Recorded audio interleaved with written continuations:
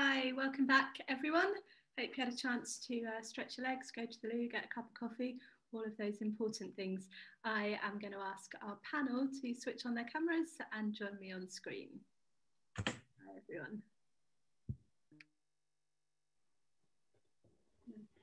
Brilliant. Here we all are.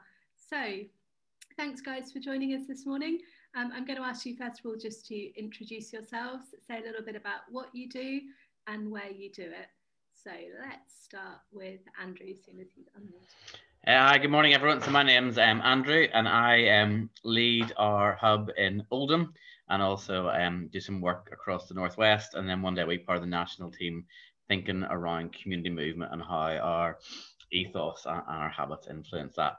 Um, uh, yeah, our hub in Oldham, we've got um, we've been kind of really active for about six years or so. Um, and we have um, now four academies in, in Oldham that was um, obviously one when we started. Um, and uh, we do a whole variety of work um, supporting those academies, but also broader community work as well, which we can talk about a little bit more as we go on. Brilliant. Thanks, Andrew. And Joe. Hi all, yeah, I'm Joe. I am hub leader in Oasis Bath and part of my role is to lead Oasis Church Bath. And uh, how long has Oasis Hub Bath existed, Joe? Um, I think officially three years, two or three years. So we're fairly fairly new. Yeah, I've been in post for two years, and I think we joined probably maybe six months or so before then. So we were a, a Baptist church that then joined Oasis and became Oasis Church Bath and Oasis Hub Bath. Brilliant, thank you. And Rebecca. Yeah, I'm Rebecca. I'm part of the team at Oasis Hub Waterloo, and I oversee our uh, advice and food bank projects and part of the church leadership team. And also just newly doing a bit of work across Oasis nationally, helping uh, other hubs support them setting up other advice and food projects. Fantastic. And Nathan everyone, uh, I'm Nathan, along with Steve. Uh, we're the two ministers of Oasis Church Waterloo. Uh, also, along with Danielle, uh, we do all the community work, kind of lead on all the community work in Waterloo as well. Um, and I'm also starting to do some work on uh, what Oasis churches might look like nationally going forward.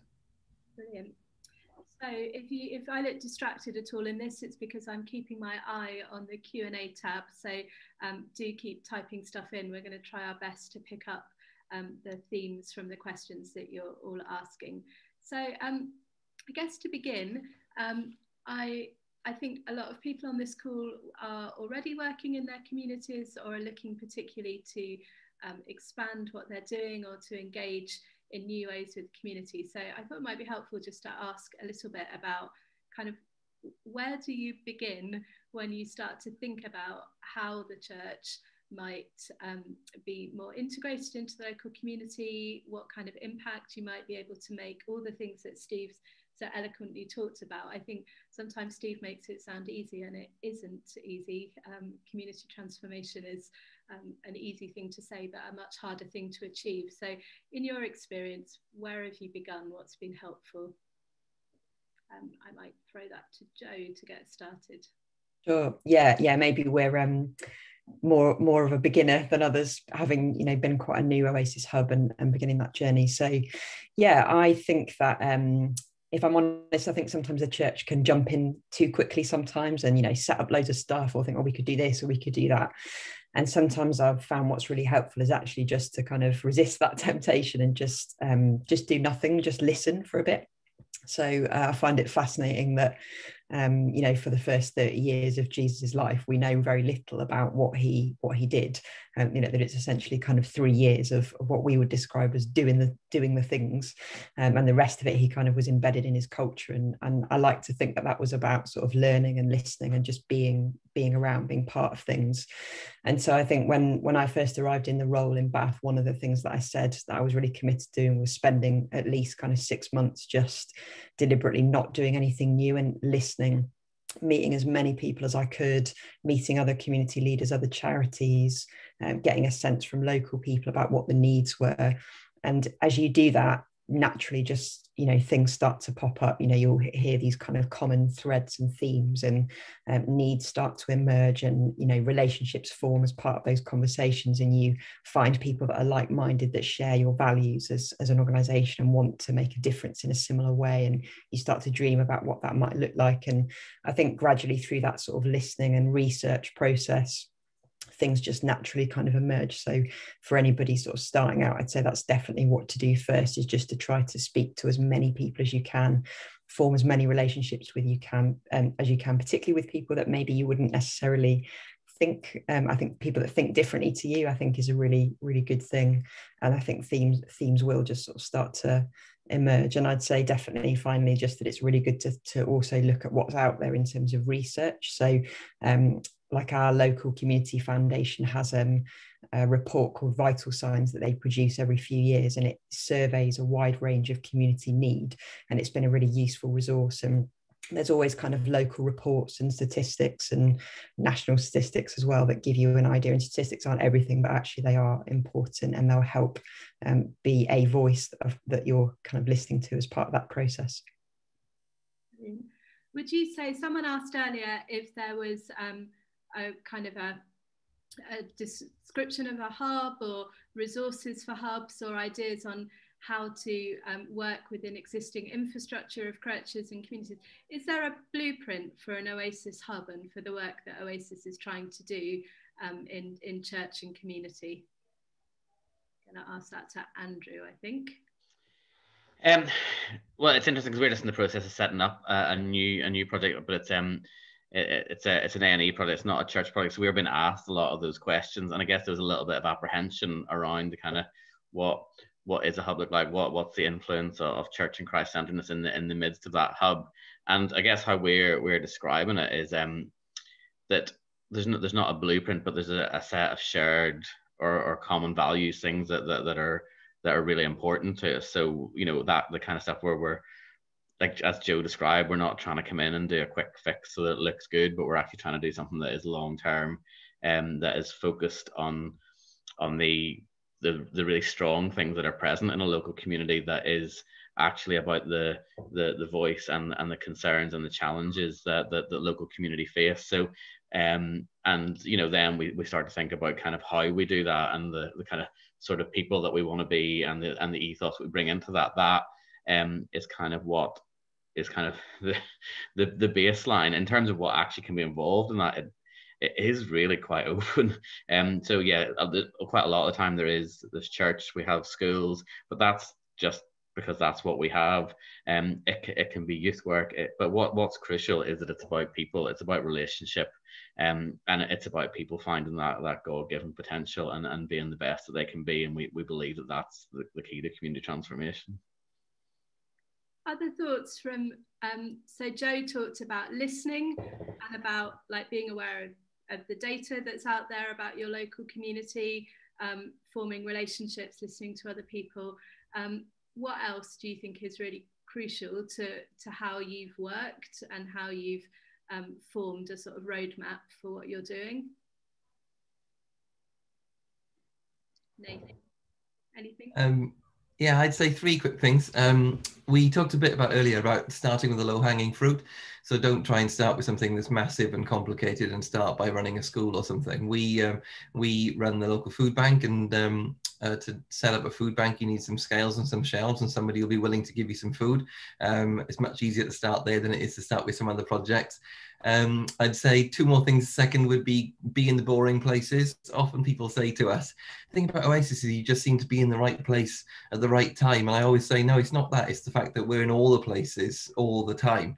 So I spent an evening last week when I really didn't want to, sat on a Zoom call for two hours listening to the South Bank Forum, which is lots of people talking about planning applications and pretty boring things that's going on in our local area. But we're in those meetings because through that, there's a couple of things I've picked up on that might be opportunities for us. So be in all the places all the time, go to the boring stuff.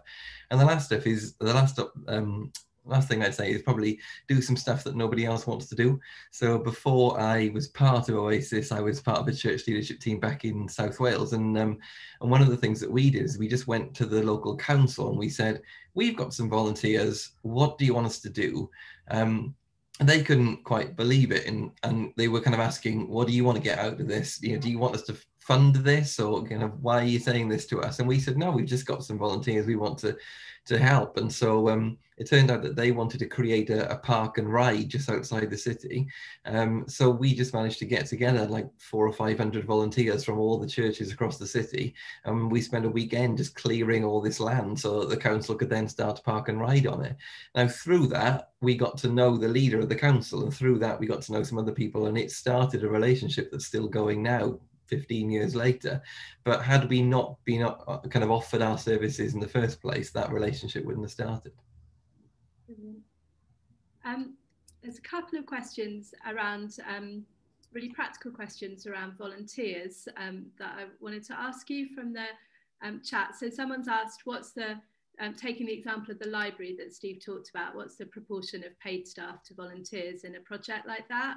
And also, how do you get people to commit and come along with you um, how do you what's the actual practical stuff you can do to get people to catch a vision um, and then to actually do it commit to it particularly on a volunteer basis um, but Danielle, I, I, I, oh, Rebecca, you can answer about the, the library. I don't know the details of that. Um, but I, I would say for us, we, you know, food projects is one of the main things that we do and that's completely volu- volunteer led. I had a thought about what I wanted to do, and I thought I wanted to do something around artisan food markets that um, you know kind of challenged the takeaway culture on the on the road one of the roads that we worked on. Um, but what really quickly emerged, and this is like probably six years ago before kind of even um, holiday hunger was in in the press, is our volunteers who started to get involved knew that they their families and their their friends' families didn't get as much to eat during the holiday provision as they would when they were at school. And so they then led something where families could come and watch a movie in one of the schools and get food. And that started our um, kind of food provision and, and what we were doing. It wasn't what I wanted to do or what I thought was was clever in terms of a community development strategy. So I think, you know, Joe's point about in terms of volunteers being engaged and, and owning it, it's about listening and being prepared to set aside our own agendas or, or clever programs, but actually being around people and what people want to be about. Thank you. Rebecca, you um, you run a food bank and advice service. The food bank especially survives off, um, I don't know, 120, 200 volunteers. What's your experience of, um, of the benefits of volunteers and of managing a volunteer community? Yeah, absolutely. I kind of I think like Andrew said, you know, people are really willing actually and want to get stuck in with something in their community. I think people are often looking for ways to help, support, to get involved, and uh, you know, to feel like they're they're part of a community. Particularly, we've got a lot of kind of professionals who I think in some way can feel a bit disconnected from their community and actually want a way where they don't necessarily know what the avenue is to to get stuck in and get involved. So I think it's actually you know it's it's quite easy to get people involved because I think there is real willingness there uh, in most local communities. And yeah absolutely. So our food bank uh, for, for a long time has been just me running it and yeah a team of 100 volunteers. So it absolutely would would fail. It would fall apart without the volunteers there. And, and i think like andrew says it's sort of getting that ongoing buy-in and commitment being willing to kind of listen and adapt and shape things based on the you know expertise and the influence of, of the volunteers who are involved brilliant it's a really practical question asking what volunteer management software um, do we use? Um, I know that's a question Rebecca would love to answer. I would. Um, so at the moment, we are just using kind of volunteer spreadsheets and systems and volunteer uh, application forms and things that we've developed ourselves, but we are actually currently just exploring um, a volunteer management system called Assemble, uh, and that's going to kind of integrate all of those, hopefully um, locally to us, those kind of different bits of volunteer management, DBS application forms, uh, all of those kind of things. So uh, if you're interested in boring volunteer management systems, I'm really happy to have a further conversation with anybody about that. Brilliant. Um, this is a question in the chat, but it's one that um, someone sent in ahead of the event actually. And um, it, I'm not sure this panel are best qualified to answer, but we're going to have a go. And if, if you're, um, as you're listening in, if you've got an answer to this question, then it would be really great to have that in the chat. Um, someone's asked, do you have examples of what a church can do in a small rural parish, less than 3,000 population? Um, and they're in Devon. And I know we had that question the last, we've done this event previously, and that question came up a bit. What do you do in small communities, in rural communities? It's really easy maybe if you're talking um, from a sort of central London location, like Rebecca said, somewhere where you've got lots of um, often young professionals with time. Um, what what about when you feel like you're in a um, not in such a resource-rich location? So what are the what are the ways of working in smaller churches, smaller communities, and in rural settings? Thoughts. Um, well, Danielle, I don't have it. Obviously, I, I work in Oldham now. I have in a previous role, I have worked in in Ireland in some more rural um locations, and but it's uh, Oldham is definitely not the context that we work in in Oldham is not like what Rebecca describes in Waterloo. So we don't easily find a whole host of um professional volunteers who want to, to work with us. That that's a real challenge for us. Um, and and and when we begun, um, and also we don't have a, a church congregation as such. We're trying to model kind of Christ-centered community in a in a bit of a different way because there's not a, an existing church there. So I think again it comes it comes back to really kind of um it's it's it's not about how many people we have or um the numbers. It's about what are the the kind of the needs and what are the the challenges and what are the the real strengths of that local community.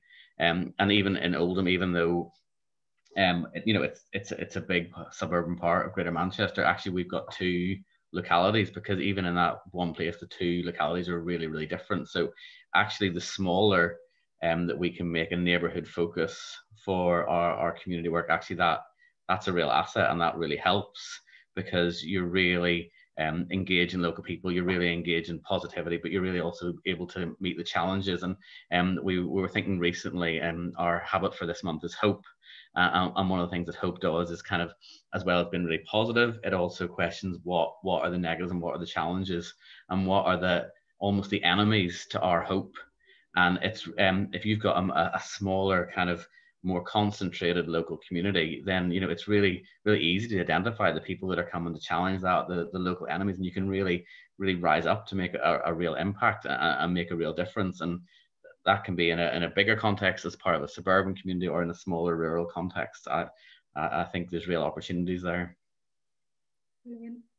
Yeah, I um, as you might have guessed from the accent, I didn't exactly grow up in uh, in Waterloo, and um, uh, grew up in the kind of middle of nowhere. And so I, th- I, think there are great opportunities. It's just very different to what we're doing here. So, um, so one of the things that we always struggle with in Waterloo is that my parents' church back in Wales, they have people who are retired who can then volunteer their time with us. We don't have anybody really who's kind of, you know, kind of in Waterloo and is retired and come up volunteer their time on a regular basis to us. Um, we don't have people who've got big houses and therefore have a spare room which they can give to a youth worker for free so they can grow their volunteer base that way by having somebody to come and work for the church and have free free board. Um, so there's loads of different opportunities. It's just a, a, different way of looking at it. So we run a food bank which is uh, a Trussell Trust food bank. They also run a, a food bank. It just looks very different in that context. I think Andrew's right. It's just about working out what your resource is, what the needs are, um, which might look very different in different areas, but there's always an opportunity to um, to grow a community somehow. There are some um, there are some great answers coming in on the chat as well. So someone's listed out uh, club, Saturday big breakfast, Sunday papers and coffee, themed food and music evenings, all things that they've run successfully in a small Scottish island community. Uh, someone else making the point that rural poverty is significant and not well understood. Um, and actually, it's a challenge in those contexts to find develop leaders and support the development of programs. Um, I don't know if anyone particularly wants to come in on that um, while you think about that. Um, as another um, comment, I think it's really helpful actually. It says, um, I think schools are a great way in for local areas. Small schools, teachers wear many hats and budgets are small and help is usually very welcome in rural schools, perhaps more so than in cities.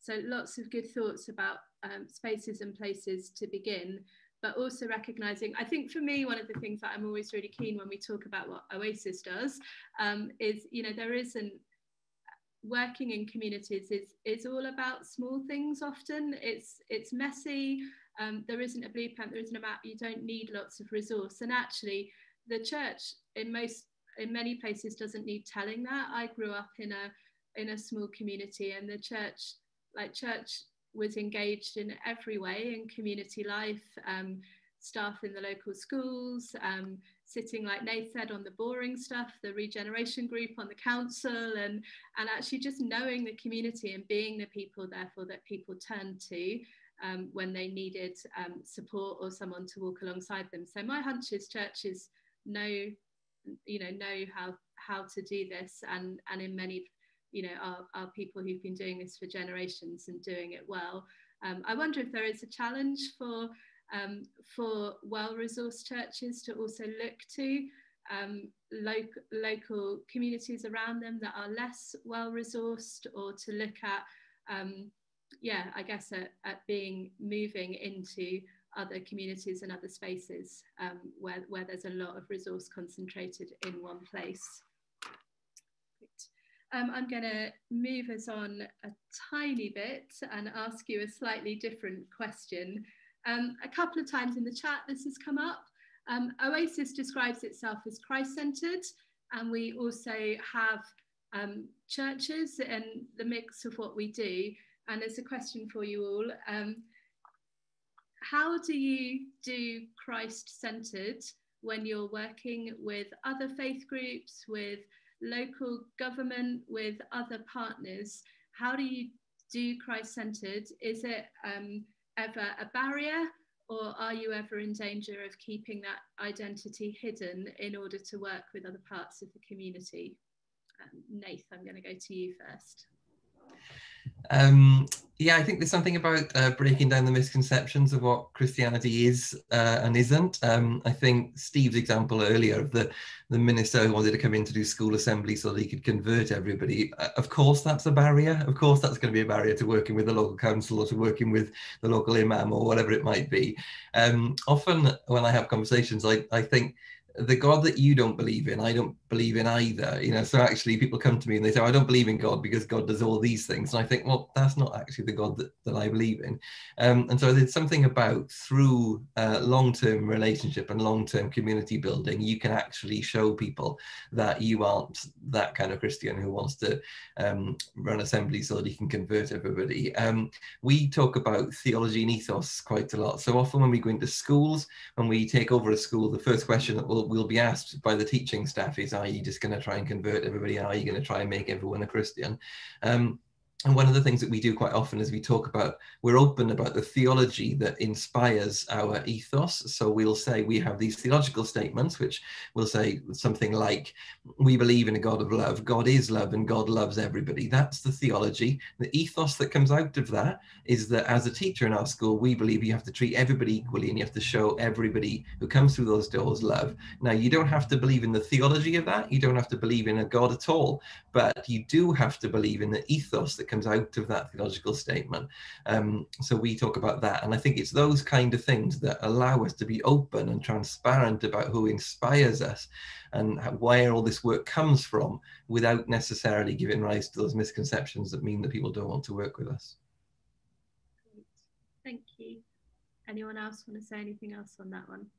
Yeah, um, I'll jump in there. I think I think we have an in- interesting tension because um, we're unlike a lot of other hubs we don't have an oasis academy in bath.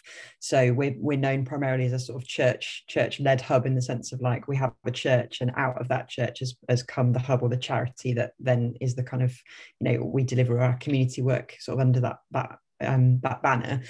So i think um, some of those conversations have been really interesting. And I think I think the way I sometimes say is everybody has a theology. You know, if you say I'm an atheist or I don't believe in God, that's a theology. that's a theological statement. So it's just being honest about that. That we all have and at every charity, every, I mean, in Bath, there's a thriving third sector, you know, some really amazing charities. All of them on their website will have, you know, a mission statement, a vision, a, um, you know, a kind of summary of, of who they are and why they do what they do. And, and some of the terminology and the language is, it's all around ethos and values. We all do what we do from a certain set of beliefs, you know, what we think is right and and wrong, what the difference we want to make in the world. And every every kind of organization is the same. And I think when you kind of start having those sorts of conversations about actually what drives us as a charity is, you know, we're inspired by Jesus, by the life of Jesus. Um, and out of that comes this way of doing things in the same way that a, a charity might be inspired by you know a particular around injustice or equality you know that that's maybe what inspires them. So i think it's trying to just have those conversations and break down some of those myths and misconceptions about what it means to be christ centered to be driven by this idea of of the life and person of jesus and to let that kind of then um, you know filter down into everything that we do and the way that we do it. And actually that's nothing that's nothing any different um, in some ways to other charities that have a certain set of values or, or beliefs from which they operate. And when you start to have those sorts of conversations there's actually a lot of common ground then actually we all want to see equality. We all want to see people living exactly as they were made to live reaching their potential. Everybody kind of and once you have those conversations there's that common ground and sometimes why, why when it's been a barrier with us before has been over a misconception or a myth. Um, so we just released our, our 2020 impact report, which is a um, kind of 40 page report, sort of measuring the difference that we've made in, in Bath kind of over one particular year. It's something that we, we want to do every year. And Oasis UK also have a national impact report. Um, and somebody just picked up on there. We have, we've got a couple of pages on, on sort of sharing our values and there was a particular person, um, lovely student called Lydia, who's part of our church, and and she just um, shares her story about uh, what it meant for her. Um, you know, being a being somewhere that accepted her for who she was, um, somewhere that talked openly about sexuality and inclusion, and one or two people have been really surprised that you know that's kind of in there. So our, our affirmation of the lgbt community because that's a, a myth or a misconception that if you're a christian you're you have these certain set of views around the lgbt community. So to kind of be able to change the narrative on that then suddenly makes people go oh maybe maybe i've got them wrong actually. And that's where the, the relationship can kind of begin. Brilliant. Thanks joe. That's really helpful. Um, I'm going to mention one little comment just because people are putting in examples and ideas of their own and it's I um, want to make sure we hear those. So um, coming back to the smaller communities and churches, someone's advice here is choose one thing. Um, and the example that they've given is um, food, saying food has always been central. So a project called Make Lunch, but I think that's great advice. Choose one thing, find a gap that you can fill and start there. Um, and there, another time we had someone give the example of um, breastfeeding advice. Um, working in a rural community where the midwifery service was really stretched and um, beginning from um, putting um, in sort of support and advice and um, friendship really for new parents um, and, and growing relationship from there. So, so kind of a million different ways to start, but I think that choose one thing uh, or low hanging fruit is, is great advice going forward. Um, Joe, just picking up on what you were saying, this might be a question for the rest to reflect on. I guess if you flip that so you've talked a lot about how, um, you know, how Christ-centeredness isn't a barrier to working with people coming from different places or um, different um, faiths, different theologies, um, and that actually also that I think really important point about inclusion um, being something that maybe people don't expect from churches, and actually really really important to um, to kind of dispel that particular myth. Um, what the flip side of that, I guess, is the question to you all. Some some of the work you describe could be done by anybody. Like, how is what Oasis does driven out of um, our faith, and how is that accessible to people? Um, without we've talked a lot about not proselytizing and not so so how, how do you bring those thoughts together um, how is how are we um, serving people's spiritual needs and inquiry and curiosity um, through what we're doing as well? Or, or could anyone do what, do what we're doing in Hub, set up food banks and, and projects and community development? What's distinctive, do you think, for you personally about how you work? I know, I'm sorry, it's a really hard question. and I'm going to make Nathan start. Thanks. Um, yeah, I actually had this conversation with them. Um, so I don't know if anyone's aware of uh, an organization called the Sunday Assembly. Um, they set themselves up as the, the atheist church. So they're based in central London. Um, and on a Sunday morning, they gather together, they sing pop songs together, and then someone talks for 20 minutes on a theme, generally often around certain kind of social justice, those types of things. And it basically is uh, a church without God. And I went there once because they did a collection for the Waterloo Food Bank many, many years ago now. Um, and ended up in a conversation with the guy who set it up. Was a guy called Sanderson Jones, I think. I think he might been another Jones. Um, and we had a bit of this, this conversation. Um, and I, the conversation we had was around uh, what's the kind of drive behind it all. And um, and we got talking about the Trussell Trust, who the organisation behind our, our, food bank, um, because that's a, a, Christian organisation. All Trussell Trust food banks are based out of churches, um, and I said the thing for me is that the it's it's what gets me up in the morning. It's the drive behind who I am. So I am inspired I am a Christian, I am a follower of Christ, I am inspired by the life and example of Jesus. And that's the drive that forces me to get out of bed on a Monday morning and to go and set up a food bank and to do all the other things that I do. So I think it's the, for me, it's the, it's the drive and the inspiration behind what we do um, that's the difference, I guess. Does that answer the question? Yeah, I think it does. And I think there's something about that uh, our kind of beliefs that motivate and drive us, but also why we have the relational model of community and community development, that it's not about service provision or putting on a project, but actually at our core and what we think is core to our faith is a God who is love and a God who is relational and who uh, cares about people and and therefore you know we care about our community first and foremost and want to see our communities as places where people thrive rather than uh, always responding to a specific issue or a specific need, although that is absolutely part of it. At our core, is about building relationships and building community. Brilliant. Yeah. And then, then I say from me, I think probably one of the things that I've learned on on my journey, and uh, you know, starting in a very, um, very strong evangelical position, is that I, you know, I've had to to lay aside that other people's motivation or drivers are not not my concern. And so when I start working in a um, you know, a, a, context where you're in partnership with statutory organizations and a whole range of partners and people come from a whole range of faith organizations, faith perspectives. And um, you know, that that understanding of of what community is and what love is uh, and what um, Christ-centeredness is.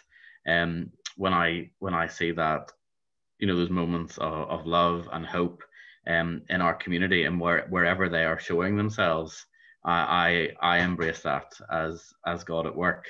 Um, and the, the drive and the motivation that enables other people to be part of the God at work and the, the journey of of God in, in, in my community is, is is just something to be embraced and encouraged. And um, there are definitely times when sometimes bringing up faith is a barrier, but then there's so many other times when it's it's an opportunity um, and and allows us, as the other people have said, just to kind of change the narrative a little bit. Thanks, Andrew. That's really really helpful. Really beautiful description. Thank you. Um, right, I'm going to um, switch subject again a tiny bit for us. We we labelled this conference um, "Reimagine the Church Beyond COVID." And um, we haven't talked very much about COVID, which right now is unusual because most of us, most conversations centre on COVID or lockdown or when we're coming out of lockdown. And um, so, just a couple of um, questions around that, I suppose. Um, the first is, in your experience in the work that you're currently doing, um, what are the needs that you're seeing in this past year and the things that you think the church needs to be prepared for in this next year? Big question. Uh, I think one of the things we've seen uh, through we've run a food bank for a number of years and we've seen the kind of need for that increase year on year for quite a while and then really dramatically so um, as lockdown hit and we've also seen actually that lots of other people in our community have been responding to that need. I think, you know, someone mentioned it in a church context that food is something actually that's really easy to cling on and it's a real uh, tangible need in our community. Uh, and I think it's great that we're meeting that need. But I think the thing we've seen over the last year uh, and the thing moving forward is actually meeting the surface level need isn't going to create long lasting change in our community. So I think there's a couple of things with that. One is we've seen actually the importance of relationships and creating space for community as alongside meeting a practical need. So uh, we've had to switch our food bank to a delivery model and deliver food parcels rather than having people come to us and having those conversations and building those relationships and linking them in with other things in the local community. And we've seen we do follow up phone calls instead. And we see through those phone calls, often we're the only person that somebody has a point of connection with. And actually, what they really want is a space they can come and be listened to and be heard and uh, feel part of a community and feel a sense of belonging. So I think uh, creating spaces where people feel that they can belong and be listened to um, is going to be key. And then I think on the more kind of practical side of things, as well as meeting the immediate need, there's a real uh, need for us to be thinking bigger and to be thinking how do we respond to the root causes of those needs in our community. So we often talk about food poverty, but actually, uh, hunger or needing food is just a symptom of of a wider cause of, of poverty. Uh, so I think there's a need to get involved in, we've talked again about the boring stuff, but like getting involved in local councils, in local politics, in national campaigning. And I think there's a real role for the church to step up and to say, we don't just want to respond to this need, we don't just want to provide food parcels forever and ever, but we actually want to see uh, Trussell Trust talk about seeing an end to the need for food banks, but I think in sort of any of our food provision, we'd love to close our doors. I'd love to not be doing the job I'm doing. And so, how do we work to see justice in our communities and, uh, yeah, to, to see real change rather than just meeting need? Thank you. Yeah. I think there's um there's also something about mental health as well.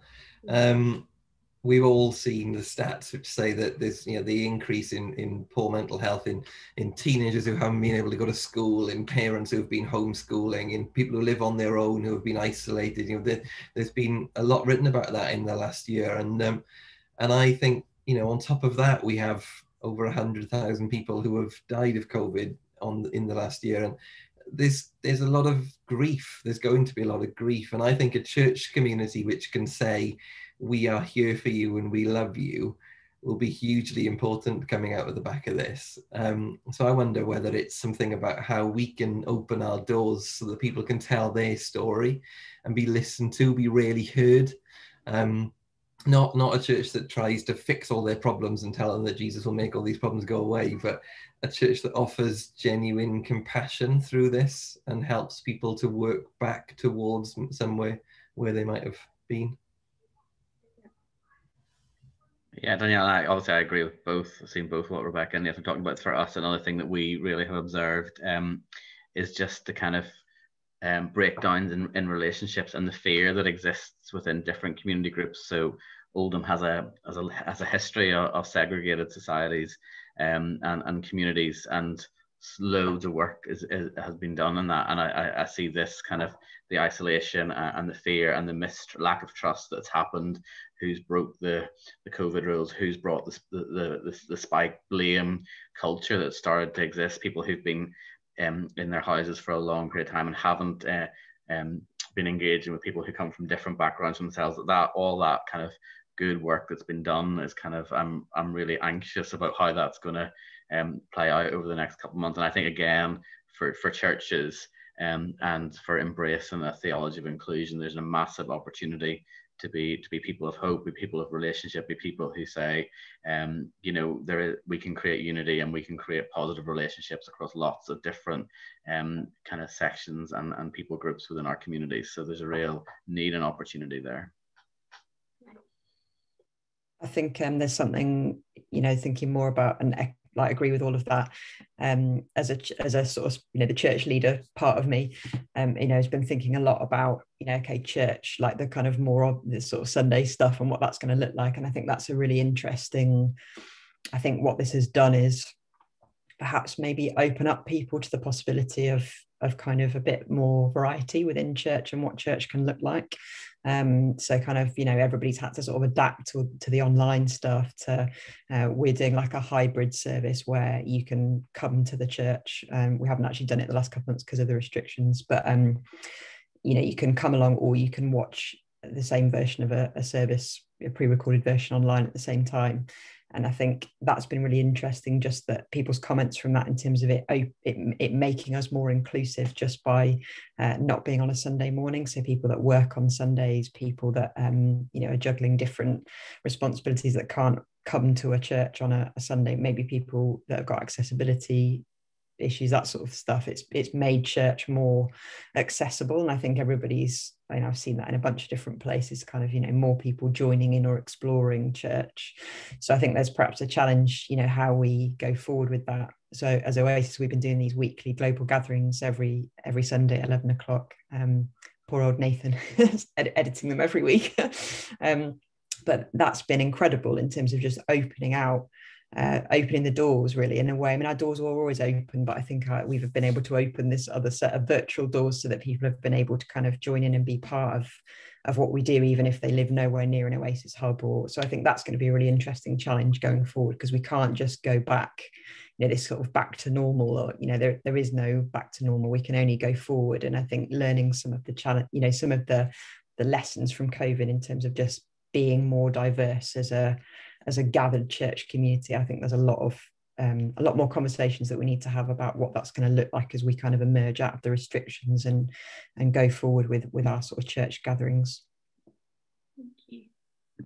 Are there things that um, this last year you think has taught you, changed your view about in terms of the the work that you're doing, or kind of challenged you personally in? These are questions you weren't didn't know I was going to ask you, so that's quite a big question. Um, why don't I answer to start while you think about it? I suppose um, something that Rebecca said, I think I've I've been reflected on a, on a huge amount that COVID has pushed us, and I think I from from looking around, pushed a lot of people into kind of emergency response mode. So a lot of our work has become like, what are the greatest needs, and and what can we do to help? And I wonder how we'll emerge from that as a community for two reasons. I think one is um, that if we're not careful, it feeds the ego of we are able to, we are here to, to help everyone and rescue everybody. And I, it, it, you know, I constantly remind myself that we, we are part of communities with a huge number of strengths and assets and that we are um, you know, in the, in the reality of what's happened in the last year or so, it's very easy to label communities or parts of com communities as disadvantaged or um, in need. And whereas people are, the reality is people are facing what are structural disadvantages um, and poverty that is grinding. Um, and but um, but we, I suppose for me and my work, I'm thinking all the time, how can we make sure that we're not overriding people's agency and also that we're just not getting ourselves into a place where we think our job is simply to be responding to emergency need as opposed to building community which is something very different um, from just providing crisis support. And I, am always saying it's both and because um, there are people on our doorsteps and, and living um, alongside us and some of us as well who are in genuine um, need that needs a response. Um, and it's not good enough to say, well, you know, we're working on a community asset strategy and, we're not interested in your immediate need. But yeah, that I think that's going to be a challenge for, for all of us um, and probably an opportunity to get to know our communities um, and to, to invite people um, further into relationship and, and not to see ourselves just as an emergency service. Which is um, which is you know maybe something that we've been pushed into in the past year. Yeah, and Danielle, I would say kind of alongside that, I'd also say the importance of of charitable groups or, or, or any any group remaining local and remaining adaptive. So like for our community and especially in the first lockdown, statutory services almost completely disappeared. Access to employability services, access to advice and, and benefits completely disappeared. And we'd loads of families with very little English new to the country who had nowhere to go. And so loads of everything, it was just like a, it was a desert um, for people who normally had support structures in place. So I think for us, it's really, um, yeah, clar- clarify the importance of, first of all, the long haul stuff that we're, if we're in this, we're in this for the long haul. And when when things go really badly wrong, we're still there, and when things are amazing, we're still there. Um, but also being ready to adapt quickly um, and and be responsive. And again, exactly just as you said, the absolute importance of the voice of the local community, so that even once you adapt, that you then readapt when we come out of it, and just being able to respond to change, which is really tiring um, and, and really hard, and definitely takes its toll. Um, so making sure that you've got support and you're kind to yourself in the midst of that, but being able to do that is definitely something that, and I, I and I think local churches are absolutely, you know, absolutely best place to do that because they're there and ready to to adapt and change to the needs of their local community. Brilliant, thank you, Andrew. Great. Um, again, really interested in the chat. Um, if you've got any responses, some of the questions I'm asking uh, the panel, um, it's a really great opportunity to hear from um, all of us in very different um, perspectives and different situations. So um, annoyingly, the um, Q&A function on a Zoom webinar doesn't organise the questions in order of that they come in. So I'm scrolling up and down and trying to catch what you're saying to us. But thank you for all the questions and for the comments and the input. It's really, really helpful. Um, there are a couple of questions asking a little bit about what role Oasis might play. Um, more widely in the church, or I think asking questions about have we got kind of plans um, to resource other churches um, or to um, for leadership development or for partnerships or you know how do Oasis hubs get formed um, and those sorts of questions. Um, Nath, you mentioned earlier that you're working a little bit about um, thinking about church network. If that is a good moment to talk about that. Yeah, absolutely. Um, yeah, so as Joe said, um, Oasis Church Bath was a, a Baptist church that um, that got involved a couple of years ago, and that was the um, the start of something really. I think we probably Steve and I used to run a, a conference back in the olden days where people could actually gather together um, in Waterloo called Active Church, where we would encourage church leaders to come to see us in Waterloo. We'd spend a day with them talking about how we can do church and community and show them around some of the stuff that we're doing in Waterloo. And out of the back of that, um, somebody from the team in Bath came down to see us and then started that conversation. So that was one way in for us was uh, a, a church that was already organised, already gathered, already had a a building and a community and a congregation and everything, becoming more part of the uh, the Oasis network. Um, we've also had similar conversations now with a, another church in Hull that. Um, uh, that are looking to do a, a, similar thing. But beyond that, I think what one of the, the benefits of the online thing is that it has been an opportunity for us to, to gather some people together from places that aren't just Waterloo or Bath. So um, we started a, a book club um, this week uh, reading Brian McLaren's new book together, and we had about um, about 80 people have signed up for that of which about 30 are part of the churches in Waterloo or Bath, and everybody else is, is somewhere else in the country who's not near a church in Bath, and I, in Bath or Waterloo. And I get asked the question all the time, is there an Oasis church in um, somewhere? And so we're just starting to do a bit of work now on what that might look like for individuals who want to kind of gather together as a community online around a kind of more progressive theology, the, the theology that Steve was talking about earlier, uh, one that's kind of really intrinsically linked with social justice. So there's there's that online community there of which this is about a part, I guess, but also there's definitely an opportunity that we've probably not really been able to resource previously of if there are established churches around the country that want to become part of an Oasis network, um, then we're definitely up for having a conversation about what that might look like, I guess. Brilliant. I think you can contact Nathan via the um, Oasis Waterloo Facebook page is probably the easiest thing or the website you want to carry on that conversation. But I've got two more really practical, quick questions for you, and then we're going to hand back over to Steve. So the first one is around funding. Um, so we've talked about loads of different projects and um, lots of different types of work that we do. Um, from each of you, just really quickly, um, what are how are how is your work funded? Um, where are the places that you look to for funding? Any tips for people? Um, well, so for us in Oldham, our work is still mostly grant funded. We'd love to move beyond that into something that is is more long term, and that's constantly our aspiration to have a better income generation plan. We did have some social enterprise and local generated income before COVID. That's stopped, um, and so for this year, it is literally small pot by small pot. Um, I, I, but I think the key for us is that um, it's relationship again. So we have some local housing providers who want to to meet some social targets, and we can provide that for them. We can do what they they can't do. Um, so relationship and a little bit of hard work is is how it is at the minute. Unfortunately, I'd love there to be a better answer than that, but there's not. Anyone else? Any top tips for funding? Um, I'll let Rebecca talk about the kind of project specific wider community work that we uh, that we get funded for.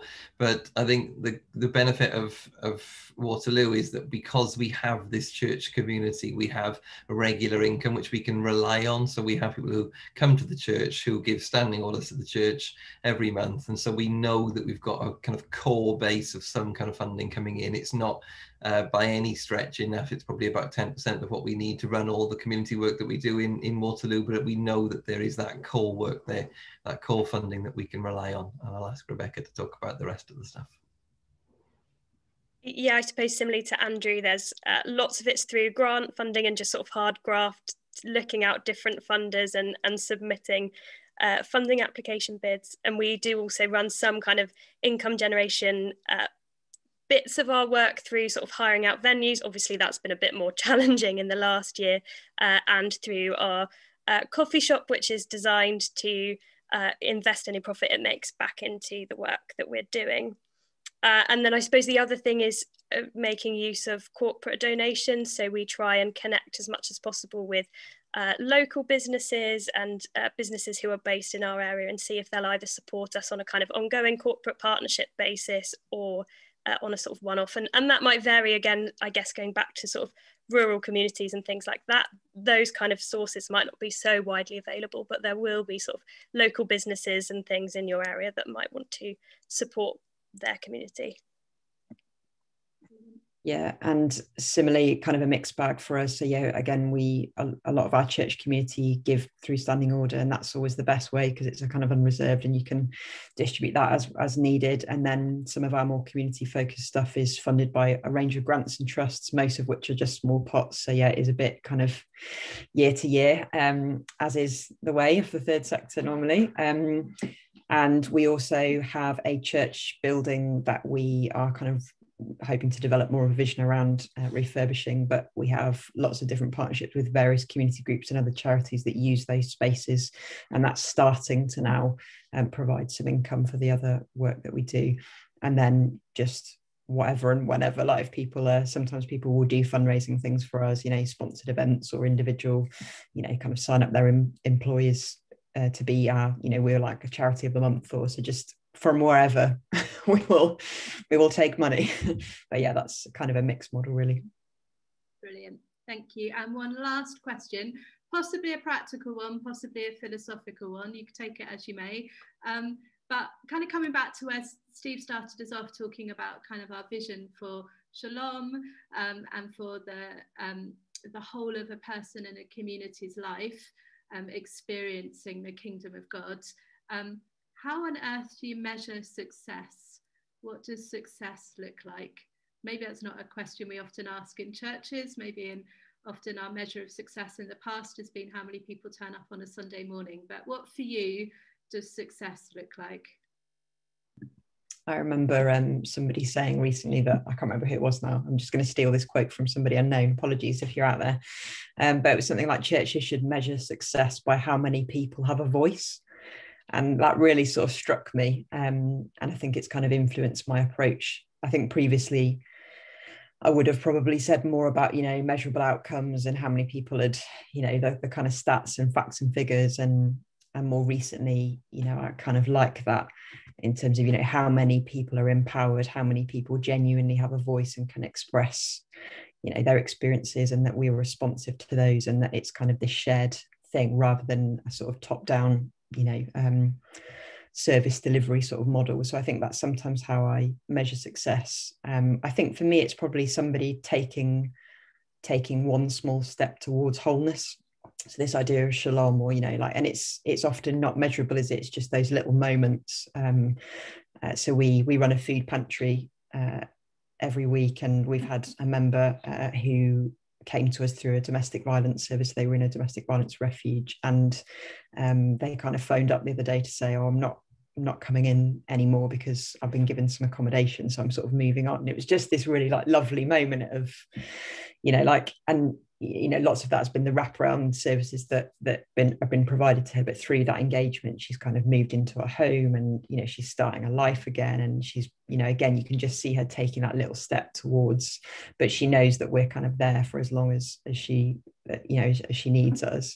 So I think it's just sometimes those little moments um, of just watching somebody take a step more towards that, and sometimes that's just the teeny tiniest thing that it's almost like a feeling or a word or a sentence that you can't necessarily write it in a shiny impact report or tell people about it. But i think that's that's our kingdom isn't it? That like these these little things of success can just be like the mustard seeds and the the tiny little moments that then will grow into something big that sometimes you don't always see.